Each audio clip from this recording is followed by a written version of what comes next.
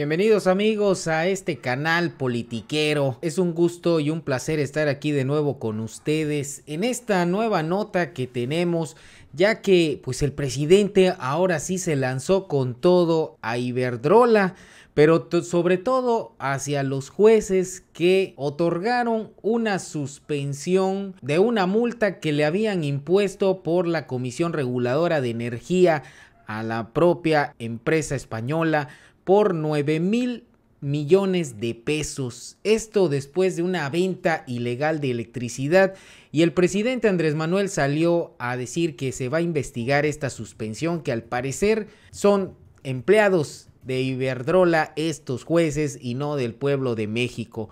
Por eso el presidente dijo que esto es increíble que haya sucedido y que haya jueces todavía a favor de la energética española por lo que anunció este, esta investigación y sobre todo que si se comprueba que hubo intereses de por medio, irán a denunciarlos a la Fiscalía General de la República.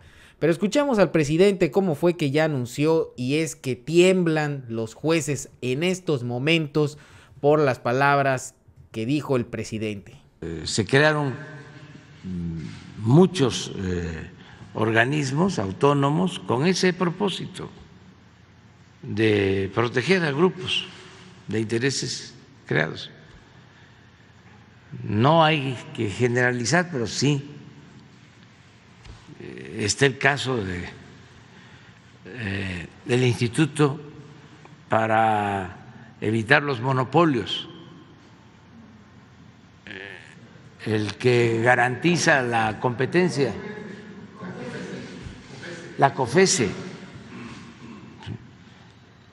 Este, se creó para defender a las empresas eh, que recibieron concesiones, contratos en la época neoliberal de privatizaciones.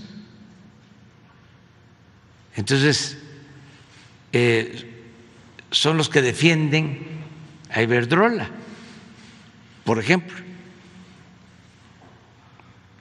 Son los que sostienen que eh, es monopolio lo que hace la Comisión Federal de Electricidad,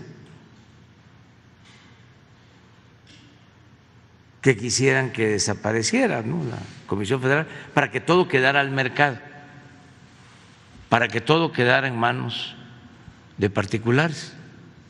Para eso crearon esa eh, institución. Es el mismo caso de los jueces. Increíble que le otorguen eh, amparo a Iberdrola, le fijaron una multa y de inmediato los jueces ampararon a Iberdrola. Creo que son nueve mil millones. Y además se está haciendo la investigación y nos vamos a ir al fondo porque eh, les aceptaron documentación extemporánea. Estamos haciendo la investigación. Y si fue así, denuncia a jueces y a quienes hayan participado. Pues ya salió el nombre del juez, quien es Juan Pablo Gómez Fierro, que al parecer, como dice aquí Jorge Gómez Naredo, es un empleado de Iberdrola. Solo así se entiende que defienda con tanto ahínco a ciertas empresas extranjeras que han saqueado y quieren seguir saqueando a nuestro país. Por eso es que ya dijo el presidente que se va a verificar si se entregó esta documentación extemporánea por parte de Iberdrola para la suspensión definitiva a favor de esta empresa española Iberdrola Energía Monterrey. Pues tan solo la semana pasada, amigos, la Comisión Reguladora de Energía multó a Iberdrola por 9.145 millones de pesos, donde pues acusó a la compañía española de vender energía a compañías que no estaban autorizadas en sus permisos. Así que el juez pidió suspender el pago de la multa hasta que se resuelva el juicio de amparo que se presentó después de que el 25 de mayo la Comisión Reguladora de Energía multara a Iberdrola. Esto, como les dije, por vender electricidad a empresas que no aparecían como socios originales de su planta Dulces Nombres, esto ubicado en Pesquería Nuevo León. Sin embargo, Iberdrola pues es conocida porque pues no le ha importado ni siquiera en su país aumentar las tarifas de electricidad y tan solo por eso también ha tenido pues 18 señalamientos entre multas y resoluciones de entes reguladores acumula Iberdrola desde el 2008 tan solo en cinco países donde tiene presencia estos países pues son España donde presentó 8 multas, México lleva 3, Estados Unidos 2, Reino Unido 1 y Brasil 1.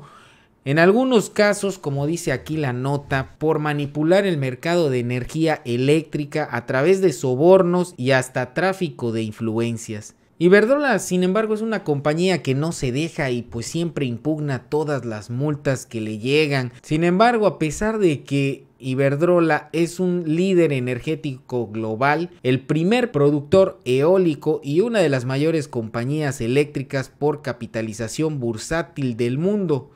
Tan solo en México tiene presencia desde el 99 y tiene una capacidad de 9.3 gigawatts a través de 16 centrales de ciclo combinado y cogeneraciones, 693 megawatts en 7 parques eólicos y 470 megawatts en 3 parques fotovoltaicos distribuidos en 15 estados del país. Sin embargo, amigos, esto no cambia nada porque al final de cuentas está aprovechando toda la infraestructura de la Comisión Federal de Electricidad para poder suministrar energías a socios que no están dentro de las concesiones que se le dieron a través de la reforma energética de Peña Nieto. Así que por eso es que la Comisión Reguladora de Energía le zampa ahora sí que una buena multa a Iberdrola que abarca desde el 2019 al 2020. Imagínense tan solo un año. Imagínense qué hubiera pasado si hubieran revisado todavía años más atrás. La multa hubiera sido yo creo que hasta cinco veces más de lo que hoy le pusieron.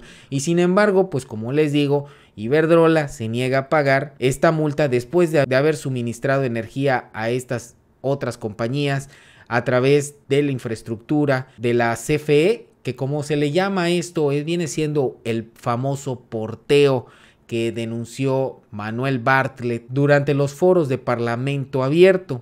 Iberdrola viola así el artículo 36, fracción 1, inciso A de la Ley de Servicio Público de Energía Eléctrica, donde se precisa que no se puede vender energía eléctrica a terceras personas que no sean socios cuando se apruebe el proyecto original. Así que Iberdrola tiene que ponerse las pilas y pagar lo que ya ha venido eh, pues aprovechando de por sí ha sangrado demasiado al país y sobre todo a la Comisión Federal de Electricidad que si no fuera por el presidente Andrés Manuel ya hubieran hecho que desaparezca. Pero bueno, al final de cuentas, ya anunció el presidente que van a investigar y si se comprueban que recibieron documentación extemporánea para poder pues apoyar a Iberdrola, pues van a irse ahora en contra de los jueces y bien hecho para que aprendan que primero está el pueblo de México y después las empresas privadas.